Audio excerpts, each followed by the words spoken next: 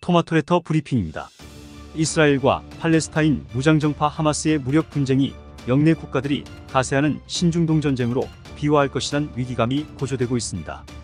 이스라엘과 주변 이슬람 세력의 무력 충돌이 격화되며 사실상 다면전 체제로 돌입했습니다. 아르헨티나 대통령 선거에서 집권당 좌파 세르히오 마사가 돌풍을 일으킨 극우파 하비에르 밀레이를 누르고 1위를 차지했습니다. 마사 후보와 밀레이 후보는 내달 19일 결선을 치르게 됩니다. 미국 하원의장 후보에 공화당 의원 9명이 무더기 출마했습니다.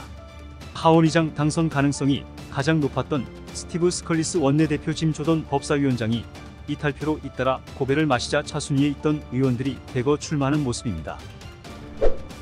올해 들어 3분기까지 주택연금 가입자 수가 최대치를 기록한 것으로 집계됐습니다.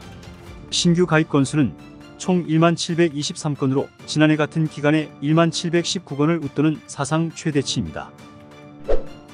김범수 카카오 창업자가 SM 엔터테인먼트 시세 조종 의혹과 관련해 조사를 받기 위해 금융감독원에 출석했습니다. 김 창업자는 하이브의 SM엔터 공개 매수를 방해할 목적으로 2,400여억 원을 투입한 혐의를 받고 있습니다. 토마토레터 브리핑이었습니다.